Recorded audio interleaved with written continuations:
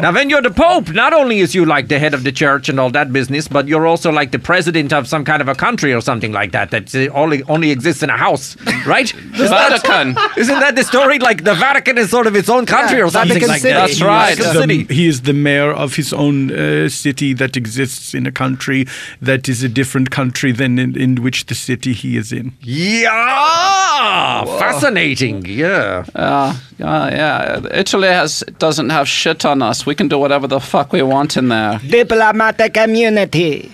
Do you have to? d- You ever take advantage of that? Hell yeah, we'll go right up to the border of the Vatican in Yeah. Rome, you know. Yeah. And we'll, we'll do like jack offs, you know, like we'll pretend like we're jacking off into Rome on their side.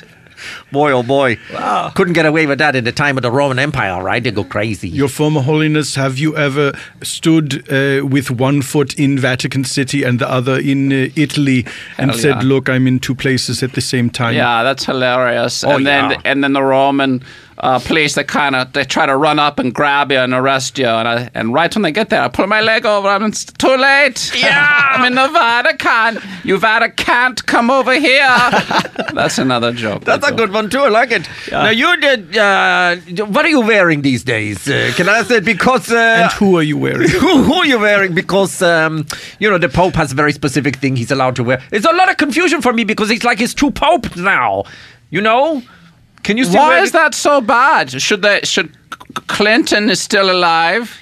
Yeah, He's I the president. Do You want him to die? That's a mistake as far as I'm concerned. Yeah, of You course. You should think they should kill the presidents off. I think you should probably have to be the president until you die, is my view Mm-hmm. on it. You know, in which case we would still be enjoying uh, Jimmy Carter, right? Yeah. He was the most enjoyable of the presidents. no homeless people would have any place to live, but because they, you know what I'm saying, he's been building the houses. Oh, that's Yeah. right. Presumably, he wouldn't have time for that if he's still president, Now I understand. right? Although, if uh, he was still president, Reagan would not have been elected, and so there would be fewer homeless people Oh, on the street. But hold on.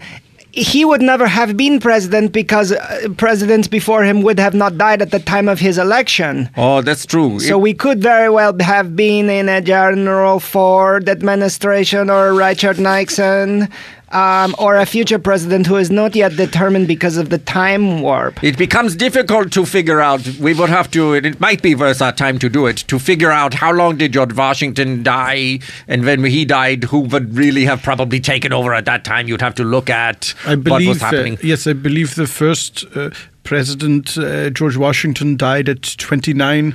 Yeah. He was 29 years old. Yes. Yeah, the second one died at 33, though. In those days, it was all gum disease. That was uh, I. eh, All gum I disease. think it would have Yeah. been Betsy Ross. She would have been th- not only the first female president, but the first president. And how would you Betsy be Ross okay with been- that? You'd be okay with that, hip hop? You know what? I would, because it's America, and it's another reason to point over here and go, look how fucked up it is over there. Well, you know, of course, over in Germany, we have a president with scare bags, and Oh. everything's going fine, you know, and we've had her for a long time. Angela Merkel. Yeah, yeah. We dated for a while. Is that right? Yeah, oh no. She hates back rubs. She does. Yeah, especially when I wear my um, special type of clothes.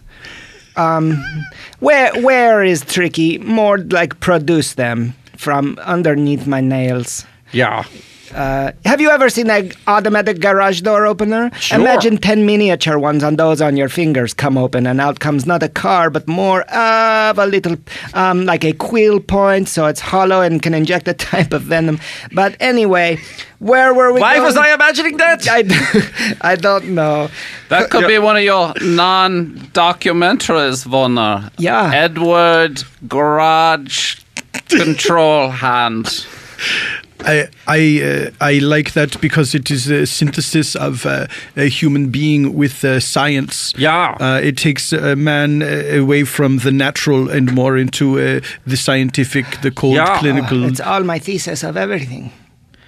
we should uh, do a collabo. Yeah. Science is hilarious.